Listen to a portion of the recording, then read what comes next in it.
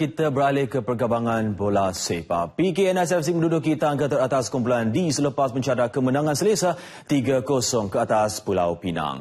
Bertandang ke Stadion Bandaraya PKNSFC bermula baik dan berjaya membuka tirai jaringan pada minit ke-17 hasil rimbatan dari luar kotak penalti oleh Muhammad Nazrin Samsul Bari. Dan tidak menunggu lama, PKNSFC menggandakan jaringan seminit kemudian menerusi Gabriel Miguel Guerra. Berlangsung dalam hujan, permainan terus rancak namun dicemari insiden kekasaran oleh pemain tuan rumah Hilton Mauro Moreira terhadap lawan P. Gunalan.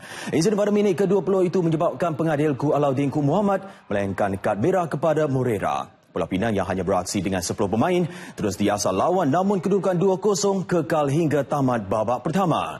Bersambung babak kedua pula hujan semakin lebat yang menyaksikan bola hanya banyak berlekar di tengah padang. Semangat Pulau Pinang yang terus cuba untuk direntap oleh PKNSFC yang menjaringkan gol ketiga pada minit ke-54.